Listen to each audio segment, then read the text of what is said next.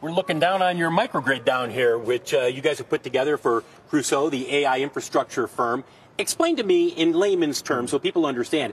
These are old EV battery packs down here that are harnessing and then providing the energy for the uh, data center, correct?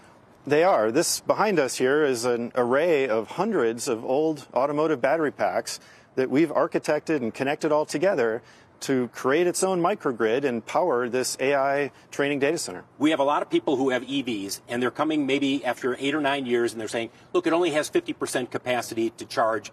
This thing is old, it's going to die on me. That doesn't mean it's a dead battery, correct?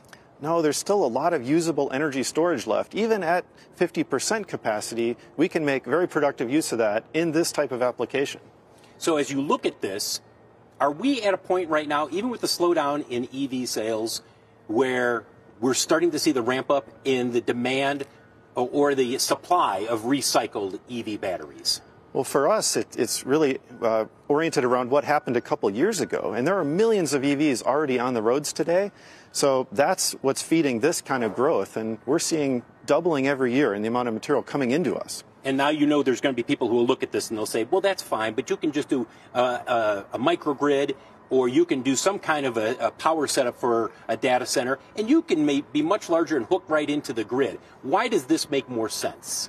Well, a couple of the key reasons are speed. We were able to do this uh, in about four months of construction.